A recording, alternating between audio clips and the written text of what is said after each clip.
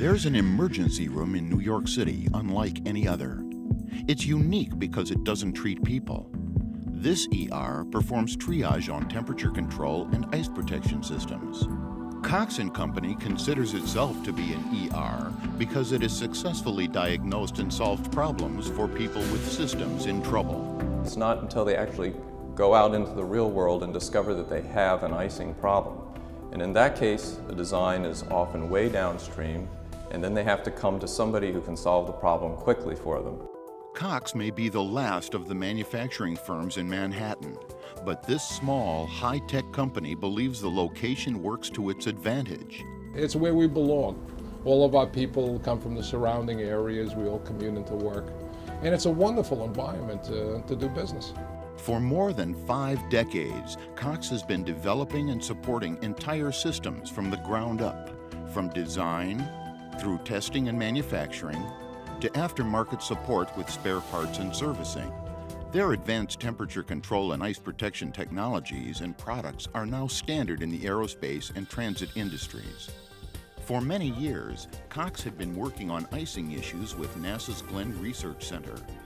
Then, in the mid 90s, they received awards from Glenn through the Small Business Innovation Research, or SBIR, program to develop an economical de icing system for general aviation aircraft. We found out the problems with the industry, we found out the problems that NASA was interested in solving, and the relationship naturally grew out of that. Working with the Glenn researchers, the company successfully produced an economical de-icing system for general aviation planes. The system has been certified by the Federal Aviation Administration for use on a Raytheon business jet, and Cox now supplies Raytheon with products for the planes. While working on the de-icing technology for NASA, Cox built its own icing tunnel to conduct research. Today, engineers at Cox still work with the agency as well as others who use their tunnel. We've been continuing that research, in some cases exchanging tunnel time with them for product development and basic research. The firm plans to expand the de-icing technology and product lines to other aircraft, including unmanned aerial vehicles. Cox's products are not only in the air. The majority of company employees ride trains in and out of Manhattan every day. About seven years ago, they began to see problems on the railroads with freezing issues and believed their ER could provide solutions. Moving their work into this arena was a natural for the company. Cox Heat is suddenly, which were recognized for the aerospace industry for over 50 years, are now the, the main heater, the, people that, uh, the, the company that people come to for heating transit products as well.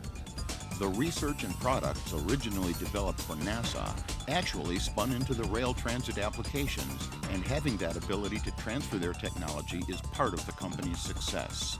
We have diversified not only between military and commercial, but greatly within each segment of military and commercial. And then added on the transit business, which really gives us a, a much greater leveling effect. Acting like an ER does make Cox unique. Being located in Manhattan also makes Cox unique. But it's being an employee-owned and operated firm that makes it different for the staff. The caring that you have towards the company, the concern you have about your name going on every product and the quality that has to be in every product. It's a, it's a fantastic thing. And the people, we're like a family. We're all in it together. It's our business.